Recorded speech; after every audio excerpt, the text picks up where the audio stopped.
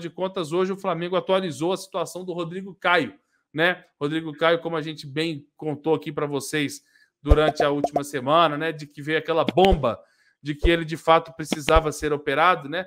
Muita gente apostando, garantindo que ele estaria relacionado para o jogo de amanhã, por exemplo, que é Flamengo e Fortaleza.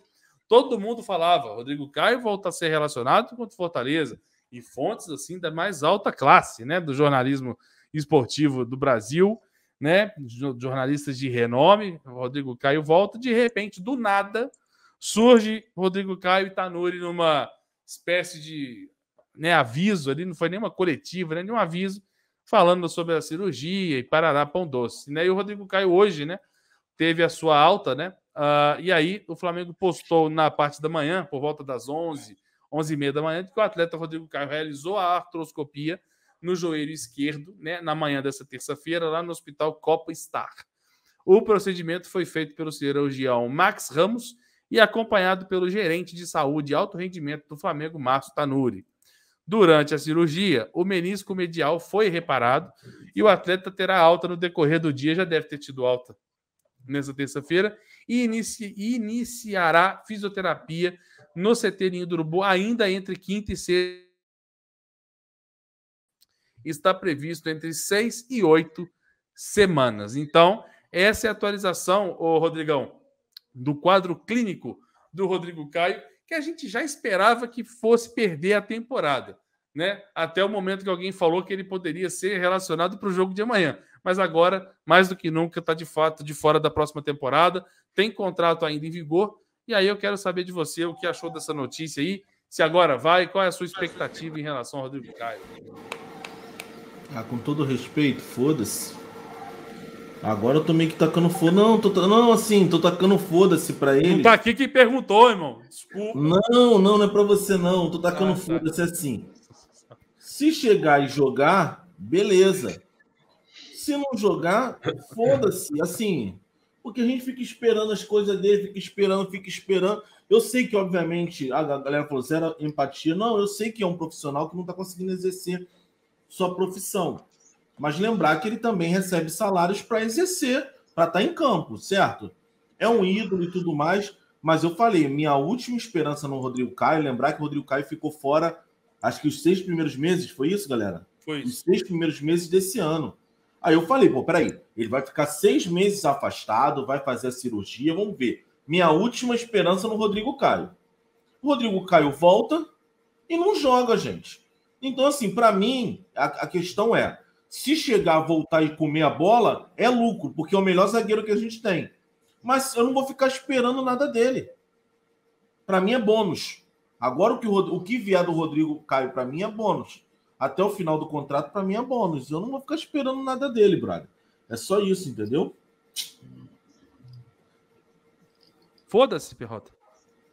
Ah, não. Eu não chego a falar foda-se sim, não, e não, mas assim, eu entendo o que o Rodrigo falou. Não vou criticar, não, mas é. É porque não dá para esperar mais nada dele, né? Ninguém consegue mais esperar nada dele. Né? E aí gera esse tipo de, de. Não é um protesto exatamente, mas de frustração, né? É, cara, é, nasceu de novo o joelho dele, né? Porque, né, assim, cara, cada operação dessa aí é, é uma que joelho virá, né? Que joelho restou do Rodrigo Caio, né? Que joelho ele tem hoje? Porque realmente o cara tá. O cara já, já mexeu demais na brincadeira, né? E aí, é. a grande pergunta que fica: será que volta mesmo em seis e oito semanas? E, e, e depois de seis e oito semanas, mesmo sendo fim de temporada, e aí vão pensar só na pré-temporada, e chega na pré-temporada, será que vai aguentar? Será que vai conseguir estrear? Será que vai conseguir fazer uma temporada em 23? Porque 22 foi o ano em que o departamento médico do Flamengo, pelo menos eu tenho entendido assim, não sei vocês, e até vale como pergunta.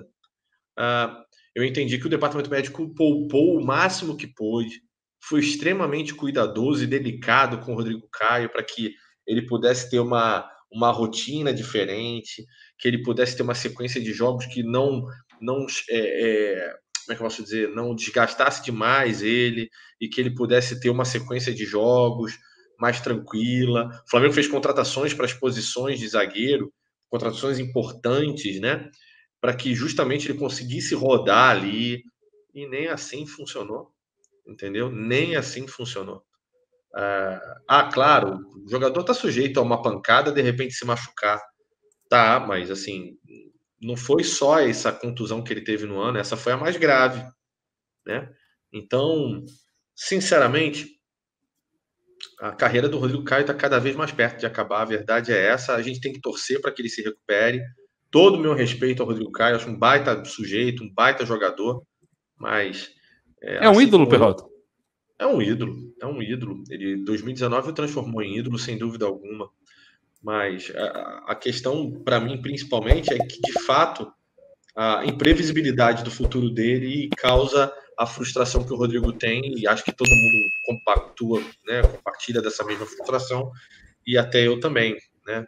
Só que de maneira um pouco diferente, não falando foda-se, né? Falando. É, é que, assim, grosseiro, muito rude, né, Perrota? Você, você é um cara de classe, você é um cara de classe. Eu fui, eu fui mas assim, é, é, é tá, porque... eu sou um cara de classe, se fuder, porra. É. Um cara que tem 10 apartamentos não fala foda-se assim para uma outra pessoa. Não, não fala, não fala. Mas, fala, assim, mas assim, é que não pode se criar um planejamento em cima do Rodrigo Caio.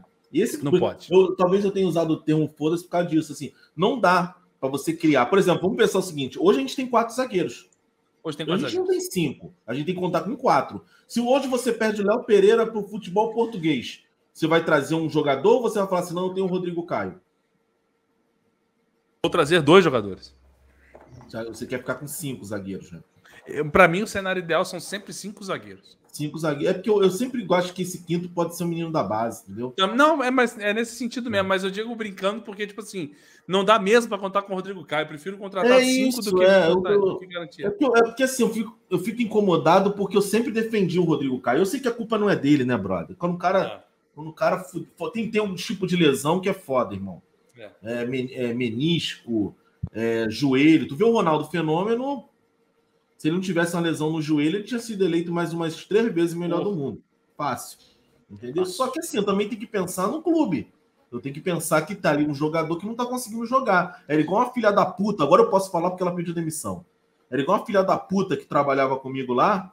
Trabalhava Nome. no primeiro dia do mês e o último. O resto era só testado. Nome. Nome. Não posso falar. Aí eu, vi que ela me bloqueou no, no, Instagram. Me bloqueou em vários lugares aí, mas é foda. Mas assim, brother, não adianta você ter um profissional que não atue. Não adianta você contratar o Messi e o Messi vir para cá. A gente contratou um puta de um jogador, Conca.